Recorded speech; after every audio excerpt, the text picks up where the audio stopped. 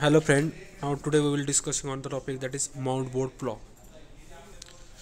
So mold board plow this type of plow leaves no unplowed land as the furrow slices cuts clean and inverted to one side resulting in better pulverization. So i will show you the parts of name which are installed on mold board plow.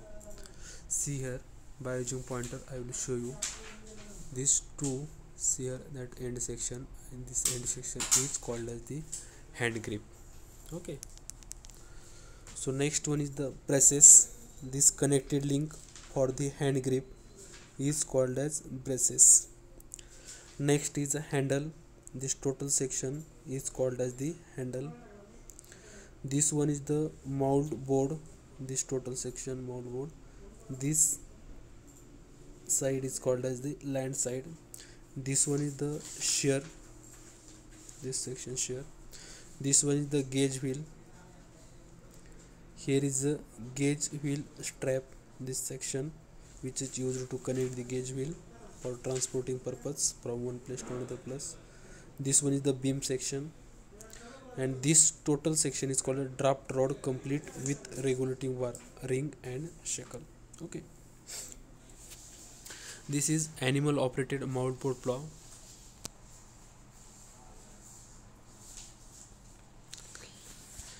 Here is two image showing that this one is red color this one is in green color shows that 2 MB plow which are tractor operated and previous one is the bullock operated MB plow.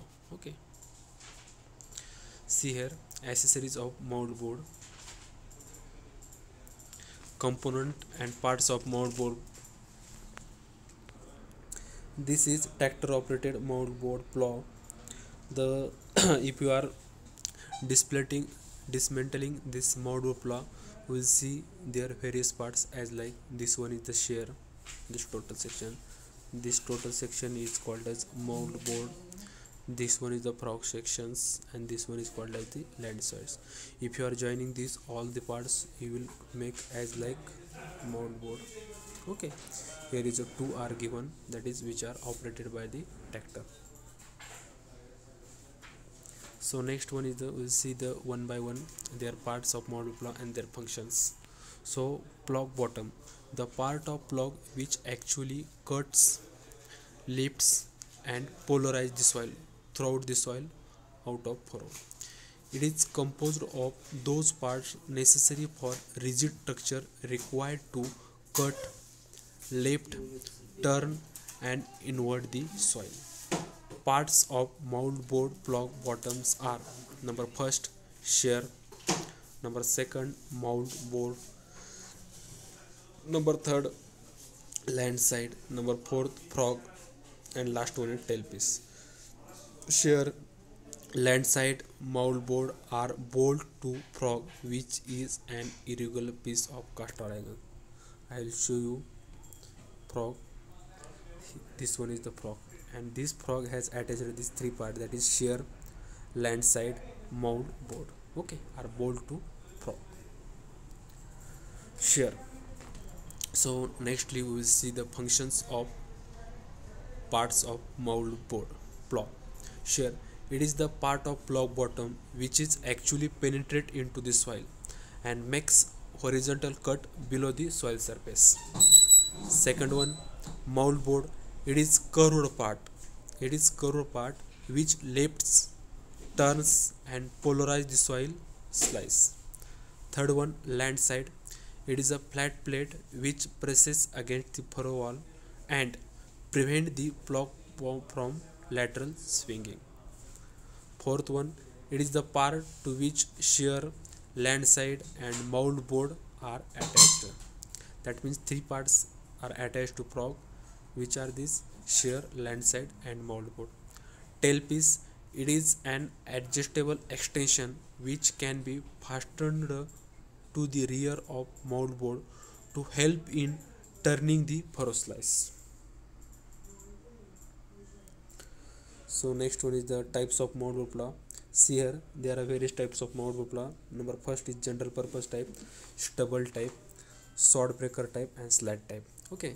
So firstly we see the general purpose mold board plow see here there is total view of this one is the general purpose mold board plow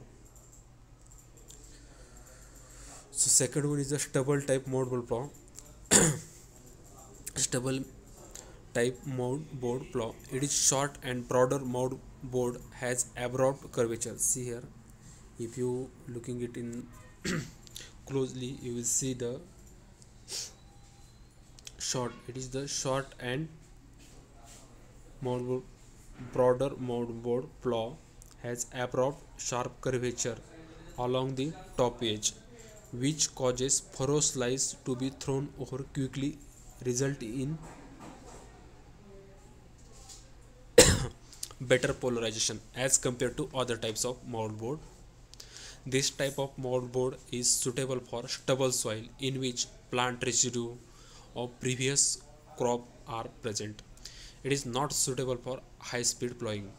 That means stubble type of moldboard plow is moldboard sorry useful in stubble soil. If you want to high speed operation that time it is not possible. You should choose another one moldboard for that purpose. Second one is the sod or breaker type. This is another type of mold board. It is longest mold board. If you look it in the closely you will see this one is the longer sections. So that's why we call it as a longest mold board with greater twist along the length to provide throughout turning and less pulverization. In this plow you will get the less pulverization. In general it is used where complete inversion is required it is used in the soil which is tough and heavy in which weed or trash or grassy land. Okay that time you should prepare the sod type as well as breaker type. Sod type is also called as breaker type mold board. In some time in n3 examination as well as mpc upsc they may ask question like sod type mold board is also called as and if they will given the options breaker type grassy type or any other options. That time you should choose the breaker type and write down there. Okay. Keep in mind this two point. So next one is the slat type.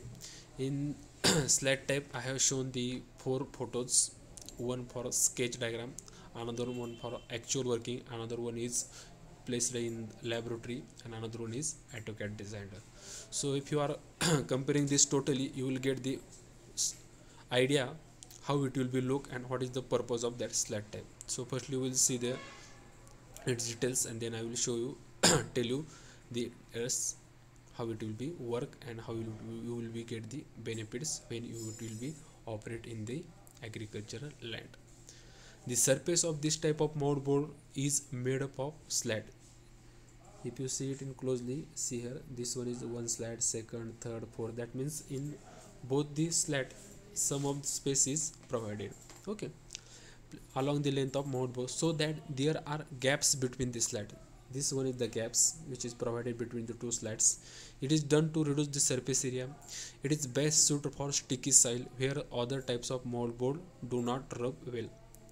For if you want to done some of the agriculture operation in the sticky soil that time you should prepare the slat type mold board. Okay so next one is the plug accessories. There are few accessories necessary for efficient function of plow they are jointer coulter gauge wheel land wheel and furrow wheel. What is meant by jointer? It is small irregular piece of metal having a shape similar to ordinary plow bottom. It looks like a miniature plow it is purpose is to turn over a small ribbon like furrow slice directly in front of main plow bottom. This is called as the jointer. Coulter it is a device used to cut the furrow slice vertically from land ahead of plow bottom.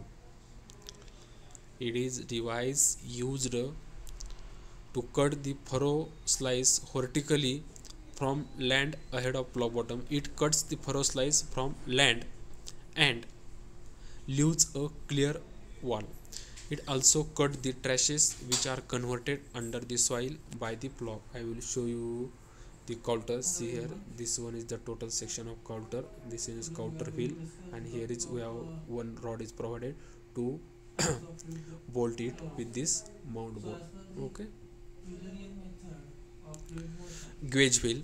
It is an auxiliary wheel of implement to maintain a uniform depth of working. Gauge wheel helps to maintain uniformity in respect of depth of plugging in different soil condition. It is usually placed in hanging position. Land wheel. It is the wheel of plug which runs on plugged land. Front furrow wheel. It is front wheel of plug which runs in furrow rear furrow wheel. It is the rear wheel of plow which runs in furrow. Thank you friend